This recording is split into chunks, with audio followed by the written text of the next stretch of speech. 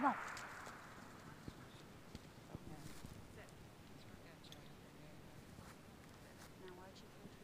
Just to make sure she stays on it? Yeah. Good girl. Girl! Get it! She, now, she might want both. Good girl! Yay! Yay for you!